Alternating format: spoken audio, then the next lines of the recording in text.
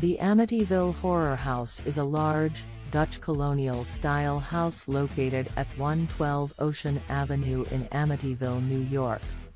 The house gained notoriety in the 1970s when the Lutz family claimed to experience a variety of paranormal activity while living there. Their story has since been the subject of numerous books, films, and other media. The house was built in 1927 and was initially a private residence. On November 13, 1974, six members of the DeFeo family were found murdered in the house. The eldest son, Ronald DeFeo Jr., was later convicted of the murders and is currently serving a life sentence in prison. In December 1975, the Lutz family purchased the house for a reduced price, despite being aware of the DeFeo family murders.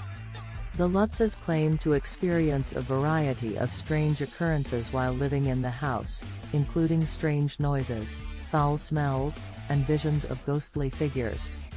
The family also claim to have seen red, glowing eyes outside their windows, and to have been physically attacked by unseen forces.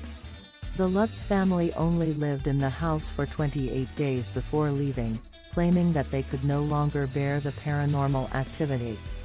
They later went public with their story, which became the basis for the book The Amityville Horror by Jay Anson. The book was later adapted into a popular film in 1979. Despite the Lutz family's claims, many skeptics have dismissed their story as a hoax. In the decades since, the house has changed hands several times and has been extensively remodeled, but it remains a popular destination for paranormal enthusiasts and fans of the horror genre.